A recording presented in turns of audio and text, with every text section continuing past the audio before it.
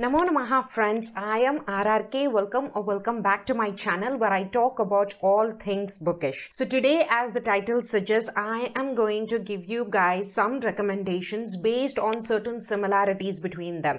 Now this is like if you like this book, maybe you have a better chance of liking the books that I am going to suggest.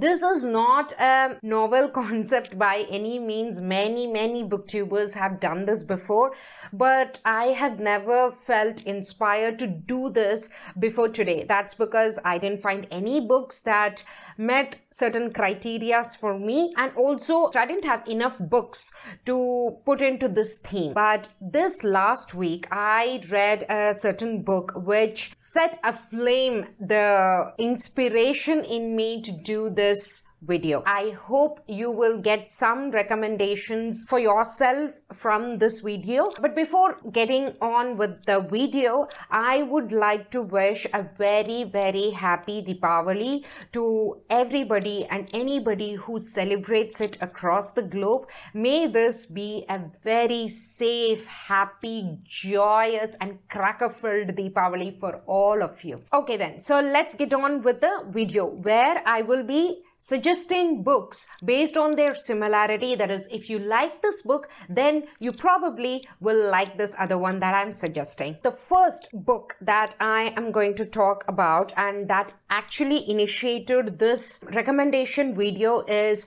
The Love Hypothesis by Ali Hazelwood. Now, everybody and their mother is reading this book and they are gushing over this book and I am no different. I absolutely loved this book. It's amazing.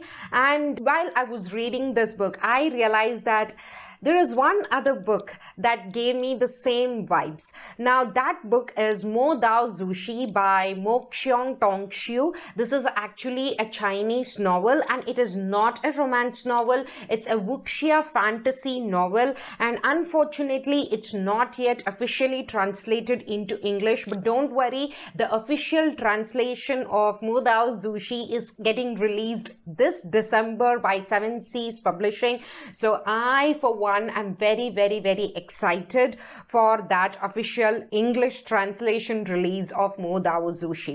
Now, I feel Mo Dao Zushi, the romance especially, is very, very similar to The Love Hypothesis. The Love Hypothesis is a romance story of a professor and a PhD graduate. This is a book which is set in a STEM environment and both of them are high achieving individuals. This is their romance and it is done so refreshingly well that I absolutely adored every second of reading that story.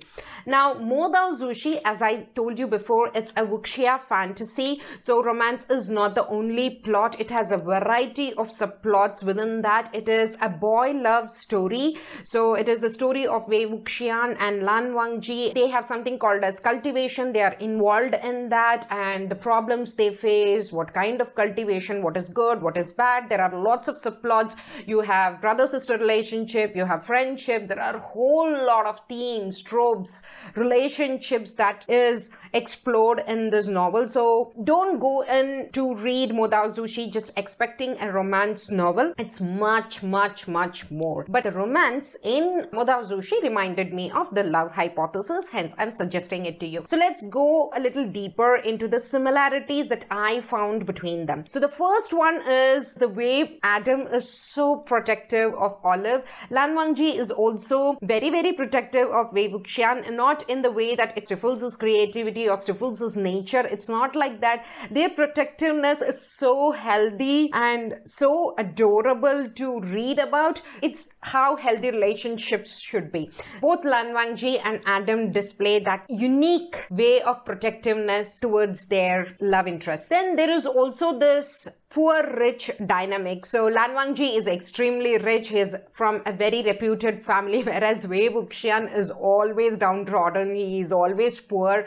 Uh, Lan Wangji subtly helps Wei Wuxian. He doesn't mind opening his purse strings for Wei Wuxian. It's sometimes very hilarious in Mo Dao Zushi. The same dynamic plays in um, Adam and Olive's case also. Adam is a tenured professor, so obviously he earns really well, whereas poor Olive is a graduate, PhD graduate living on a stipend. She's also an orphan, so she doesn't have much money. So there is this cute dynamic between them where he keeps feeding her because he knows she is always starving. So he keeps feeding her, which is so good to read about. It's an amazing relationship dynamic that I absolutely adored. And then you have a lot of pining and angst in the story. So Adam keeps pining over Olive when she's completely clueless. Same happens with Lan Wangji. He keeps pining over uh, Wei Wuxian and he is completely clueless. So that similarity was fun. And then obviously, as I said before, um,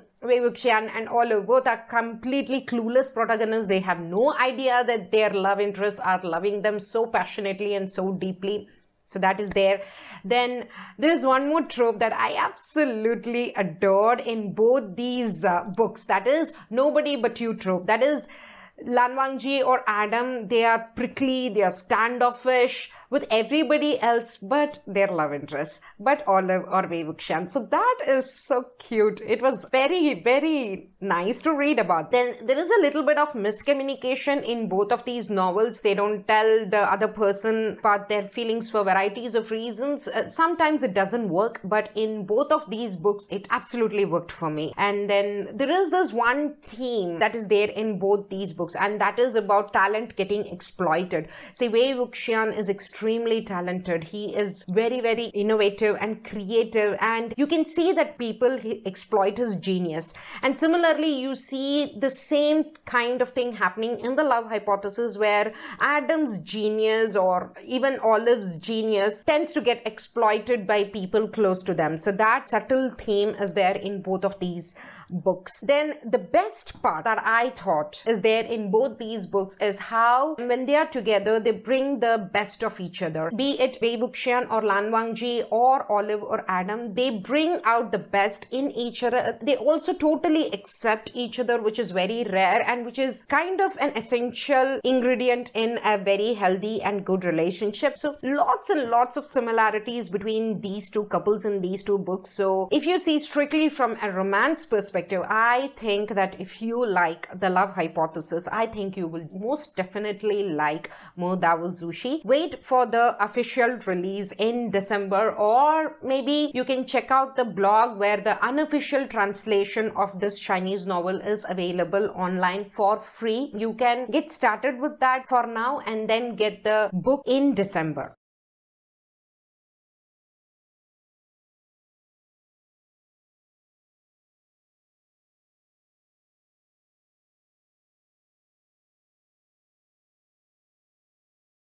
That was the first book. Now, I don't want to take as much time talking about each of these books as I did with the first book. So, I'm hoping the next few recommendations will be pretty fast. So, the next recommendation is if you like Captive Prince by C.S. Pacat, then I think you would like Unhinged by Onley James. Captive Prince again is a boy love or gay story between two princes of enemy territories, and one gets sold as a slave slave to the other prince and that prince gets an opportunity to take revenge on this prince. How romance blossoms between them, that is the story. It is a fantasy series. The Unhinged, meanwhile, is not a fantasy series. It is a contemporary romance story and its premise is also quite interesting. So one scientist, he adopts seven kids with psychopathic tendencies and he thinks that he can nurture them in a way where their psychopathic tendencies can be channeled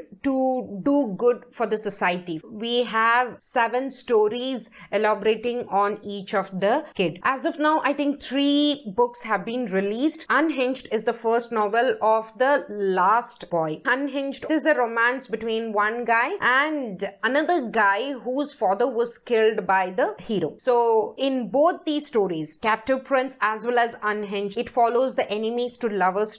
In both the cases, people want revenge against the other for some reason. In the case of Captive Prince, it is because the prince's brother was killed by the other prince, hence he wants revenge on him. And in the case of Unhinged, the father was killed by the other guy, so he wants revenge. So it's kind of enemies to lovers. And in both these stories, trigger point is the revenge. It's the thirst for revenge that triggers their interaction, that triggers their relationship. So in both these cases, you see that revenge is the trigger for that then the most important thing in both these cases is that healing and gaining strength from each other is a major theme in both these books. So they ground each other. They they help each other a lot. This is even more significant in this case because it is enemies to lovers. So it is kind of difficult for the author to build that trust and to make it believable. Hence i feel that if you like one book you will definitely like the other one as well. Next are two YA fantasy novels. If you like From Blood and Ash by Jennifer L. Armentrout, then I think you will like Girl Serpent and Thorn by Melissa Bashardoust. Here in both these stories, you have princesses, okay? Both the heroines are princesses. Then uh, you have the heroine hidden away from the world for a variety of reasons. They both have isolated and a very lonely upbringing. They have serious self image issues and they also have some suspicious saviors.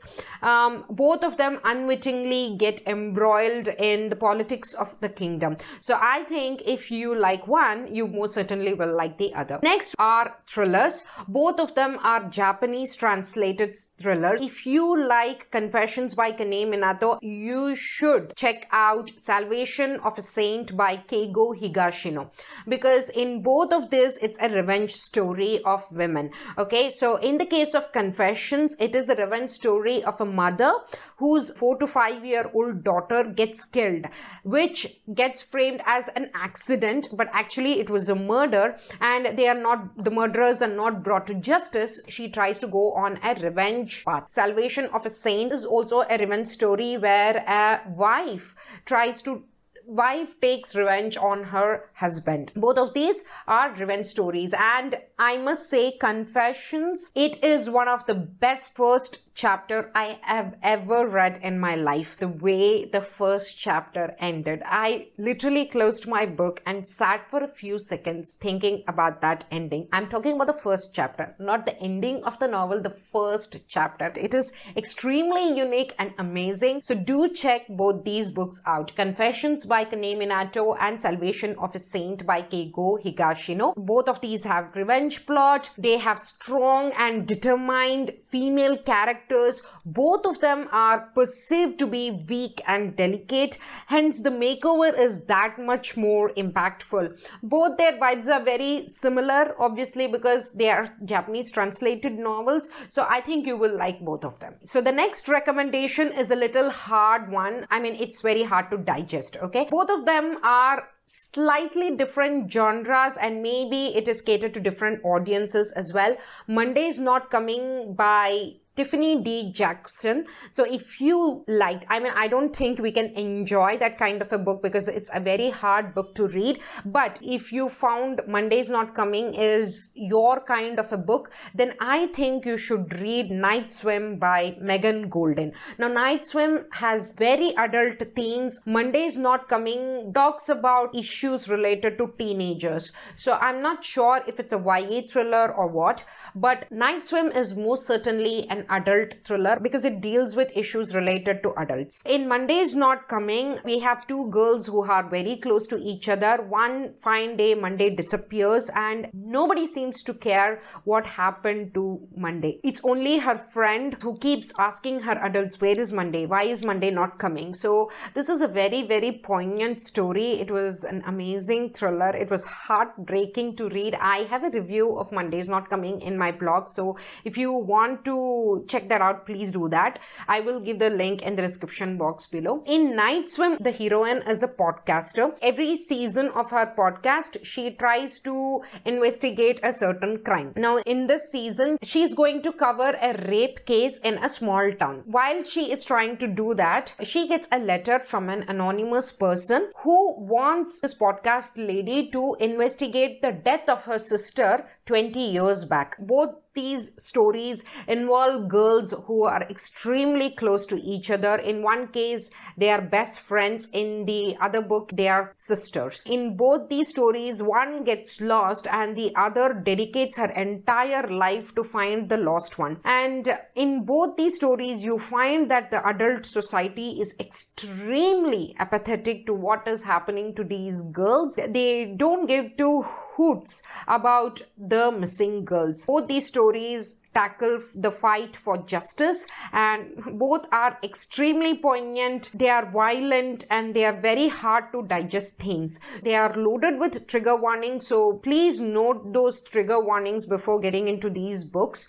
They are very hard hitting and solid stories. The next recommendation is not as morose as the previous one and that is the final empire which is the first book in the mistborn series by brandon sanderson. So if you have read read The Final Empire and you liked it, then I suggest you give a try to The Ruins of Gorlan by John Flanagan. So this is an old series and an old novel. So probably you might have read Ruins of Gorlan rather than The First Empire. But if you have read that, then read The Final Empire because both of them handle similar themes. Now, in both these books, we see certain common themes. For example, the underprivileged kid gets recruited by by a mentor and he trains them. And in both these cases, the kids unwittingly become the chosen ones. And uh, in both these stories, we see that the kids have some hidden talents which are uncovered by the mentor. And both these stories have excellent mentor mentee relationships. So I hope you will give either one or both of these books a try. Last but not the least, I have three books to recommend to you. These three books are not exactly the same. They don't match each other in every single way, but they have certain common aspects between them. The vibes are similar. So if you like one of them, I'm sure you would like to try the rest of the two. So the first book is The Unhoneymooners by Christina Lauren. It is a very, very hyped book in the romance community. So if you have read The Unhoneymooners, then you should give The Hating Game by Sally Thorne a try. And if you have read The Hating Game by Sally Thorne, then I would suggest you also give Act Your Age Eve Brown by Talia Hibbert a try. Because in The Unhoneymooners, The Hating Game and uh, Act Your Age Eve Brown, there are certain similarities. For example, they deal with not really enemies, but um, annoyance or dislike to love trope. So all of them, they are slightly annoyed with each other, irritated with each other. They don't like each other much, but then it turns into love. So all these three stories deals with such a trope. And in all these three stories, they think that the other hates them. They have this misunderstanding with, between them. So also we have some forced proximity situations because in the honeymooners, what happens is they attend a wedding and everybody other than the hero and heroine fall victim to a food poisoning accident and the heroine's sister has already booked the honeymoon. It is a booking which cannot be cancelled and she doesn't want to waste that entire honeymoon. So she suggests her twin sister to take upon that honeymoon. And the twin sister due to some sort of weird circumstance gets to go to the honeymoon with the guy whom she dislikes. It's been quite a while since i read that book but he is somehow related to the groom. So that groom's friend or brother goes with this twin sister to the honeymoon. So they have the forced proximity situation there. And in the case of hating game, they are colleagues and their respective bosses work with each other. So these guys have to work with each other, but they dislike each other. So they have that forced proximity situation there.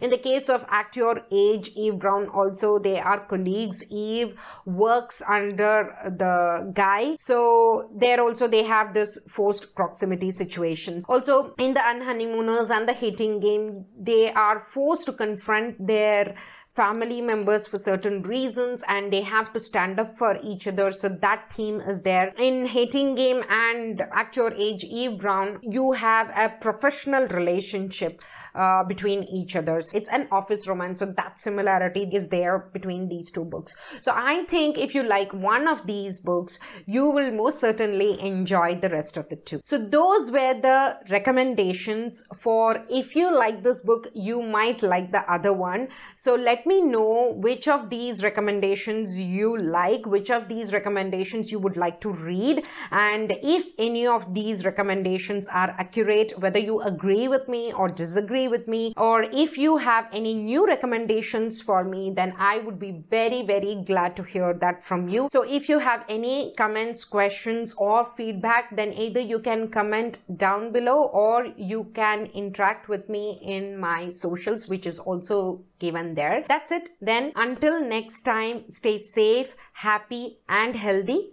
Om Shanti.